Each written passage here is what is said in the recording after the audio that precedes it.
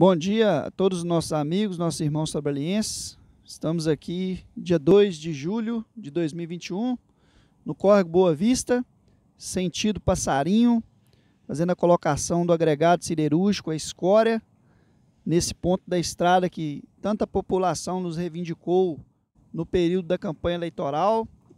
E queria primeiramente agradecer a Deus por nos dar saúde e força para fazer essa obra em prol da sociedade, dos nossos amigos da zona rural, enfim, é, do município de Sobralha.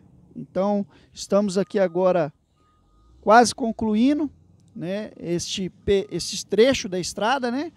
E quero também agradecer a equipe da Prefeitura Municipal de Sobralha, que tanto tem dedicado, se doado, para que essa essa obra, esse projeto se concretizasse, né?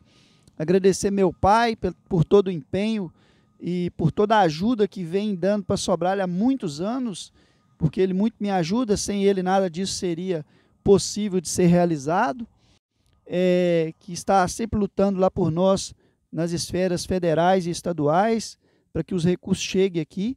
Muito obrigado a ele, né? Primeiramente ao nosso Senhor Jesus, depois ao meu pai. É, essa equipe da prefeitura só tem que agradecer a todos, é, se doado assim cada dia que passa.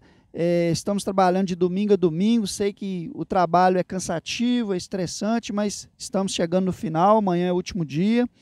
É, continuaremos essa obra com as nossas máquinas e creio que dentro de pouco tempo estaremos com todas as estradas vicinais da zona rural é, vários trechos dela concluído e ainda outros para concluir.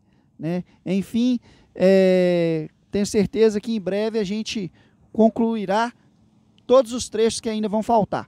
Queria agradecer também os nossos vereadores, né, nosso presidente da Câmara, José Secundino, né, Lúcio Martins, nosso vereador, nosso vereador Roosevelt Vitor, nosso vereador Fabinho Esquerdinha, nosso vereador Fabinho do Bigode, nosso vereador Vanderli que sempre apoia as decisões desta administração, buscando sempre o melhor para o nosso povo, junto com o Poder Executivo.